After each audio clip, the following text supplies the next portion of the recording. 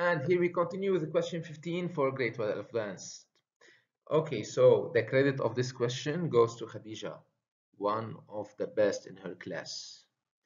So to answer this question, you need to refer back to chapter 2, section 9.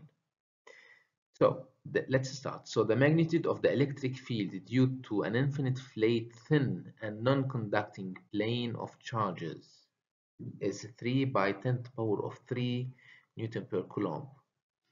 So, assuming that the charge is uniformly distributed, what is the charge density on the surface of the plane?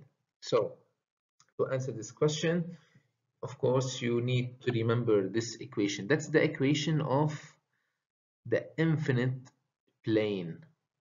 So, that equation describes the electric field created by infinite plane, which is equal to sigma, which is the uh, uh, charge density, over two epsilon zero.